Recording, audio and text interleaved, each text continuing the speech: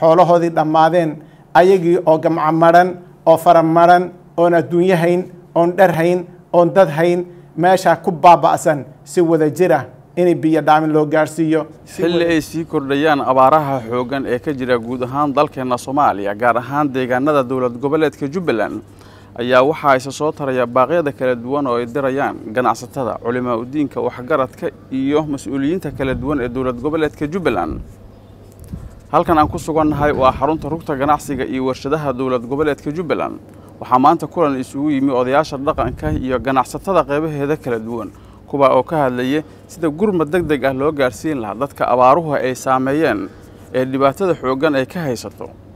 Kulankaasi ayaa inta badan waxaa lagu gorfeeyey sidii bulshada ay kaalin muhiim ah uga qayb qaadan lahayd sidii dadkaasi gurmad xooggan loo gaarsiin lahaa islamarkaana looga badbaadin lahaa dhibaatooyinka kala duwan ee xilligan ay wajahayaan. Ugaas cumar xiirey afhayeenka salaadiinta dowlad goboleedka jubbaland oo madasha ka hadlay ayaa waxa uu sheegay in ganacsatada iyo hay'adaha samafalka ee ka howlgala deegaanada dowlad goboleedka jubbaland in loo baahan yahay in doorka ugu muhiimsan ay ka qayb qaataan. Waxaana ugaasku uu sheegay in loo baahan yahay in sida ugu dhaqsiyaha badan dadkaasi dhibaatada xooggan ee u geysatay abaaraha xooggan ee ka jira deegaanada dowlad goboleedka jubbaland sida ugu dhaqsiyaha badan leh wax loo gaarsiiyo. Inaan ummadda soomaaliyeed meel kastoo ay joogtaba aan ilaahay oga barino in uu ka qaado culayska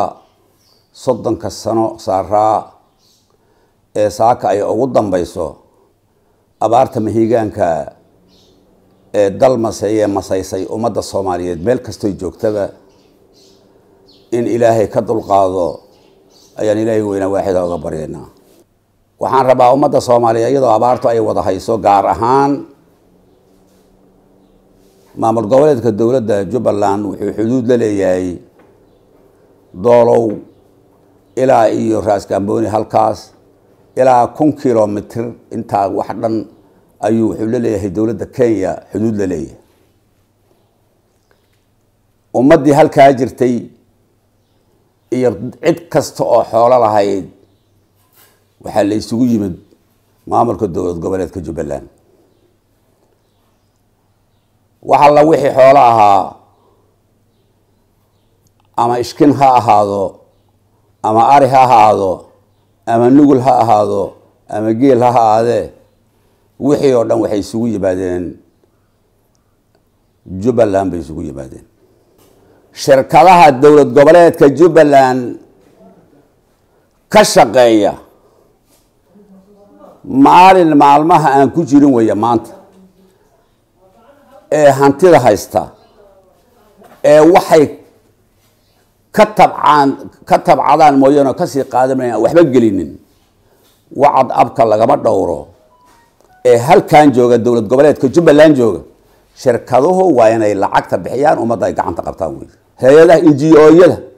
kuwa halkan iska shaqaysan haya war abaarta wax ka qabta. Cid dambe oo jubbaland ka shaqeynaysa male abaartaasaan maanta ku kala baxay. Ninka ka qayb gala ahlan wasahlan ninka ka qayb geli waaya boorsadiisu qaadan doonaa. Guddoomiyaha rugta ganacsiga iyo warshadaha dowlad goboleedka jubbaland xuseen raabi kaahin ayaa waxa uu si weyn oga hadlay dhibaatooyinka kala duwan ee geysatay abaarta ku dhufatay deegaanada dowlad goboleedka jubbaland waxa uuna xusay in xoolo kala duwan ay dhammaadeen xilligana qarka ay u saaran yihiin in dadka ay abaarta u dhintaan. Waxaana hay'adaha samafalka iyo ganacsatada ugu baaqay in gurmad deg deg ah lala gaaro dadkaasi ay abaaraha xooggan saameeyeen. Waxa uuna shacabka soomaaliyeed ugu baaqay meel kasta oo ay dalka ka joogaan in gurmad xooggan lala soo gaaro dadkan dhibaataysan ee abaarta ay dhibaatada xooggan u geysatay. Ugaaska hadalka dhammeeyey mana doonayo inaan wax badan kaga daba laabto laakiin waxaan doonayaa inaan taabto oo ah buqcada ah qofka keeska biyaha heli kara ka kiishka sonkorta heli kara ka kaashka heli kara ka bariiska heli kara ka burka heli kara ka caanaha heli kara in si wada jir ah. Kismaayo haddaad oga baxdid waqooyi iyo haddaad oga baxdid koonfur iyo meel kasta ood oga baxdid abaarta dadka ay saamaysa baad galaysaa ilaa laga gaadho gobolka gado iyo doolow ilaa raaskambooni iyo ilaa gobolka waqooyi waxaa weeye maxay ahayd n f d la yidhaahdo marka dadkaa soomaaliyeed ee abaartaa baahsani ku gaadhay abaartaa baahsani gaadhay ayaan waxaan u baahannahay inagoon u kala hadhin inaynu u jawaabno jawaabtana ka bixinno. Waxaana codsanhayaa oo codsi dheer u dirayaa shirkadaha iyo bangiyada. Warqadaha codsigeen u soo diray inay nooga jawaabaan ugana jawaabaan il naxariis leh islaamnimo walaalnimo ehelnimo iyo isu danqashadii lagu yaqiinay soomaali inay u danqadaan gabadha iyo aabbaha iyo carruurta lodoodii dhammaatay adhigoodii dhammaaday biyo aan haysanin baad aan haysanin raashin aan haysanin cunto aan haysanin cid ay ku cararaanna aan haysanin ilaahay subxaanahu wa tacaala iyo bacdallaahi dadkaa shacabkee soomaaliyeed mooyaan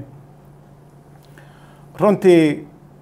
abaartan cidina isooga sheekayn mayso social mediaad ku aragteen waxaad ku aragteen maxay ahayday maxay ahayday idaacadaha waxa weeye caam ahaan ayaad u wada aragteen. Waxaan kaloo rajaynaynaa diyaasbarada iyo ganacsatada soomaaliyeed. Haddii ay suurto gasho inay rugta ganacsiga oo u taagan isbuucii la soo dhaafay iyo labadii isbuuci la soo dhaafay iyo intaanu ka gaadhayno uheelinta iyo ugargaarka iyo garab istaagga shacabkooda soomaaliyeed. Abaarta siday ilaahay subxaanahu wa tacaala wuxuu ugu soo dhiibay u gaadhsiin lahaayeen inay nalagu garab istaago nalagu caawiyo hiilna la muujiyo. Waayadii ugu dambeeyaba waxaa isi soo taraya baaqyada kala duwan ee laga jeedinayo abaaraha xoogan ee ku dhuftay qaybo ka mid ah dalkeena soomaaliya gaar ahaan deegaanada dowlad goboleedka jubbaland iyadoona xilligan ay socdaan gurmadka xoogan ee la gaarsiinayo dadka ay saameynta xoogan ku reebtay abaaraha ku dhuftay deegaanada dowlad goboleedka jubbaland. Xasan yuusuf maxamed shafadyare raadiyaha iyo tv-ga dowlad goboleedka soomaaliyeed ee jubbaland. Magaalada kismaayo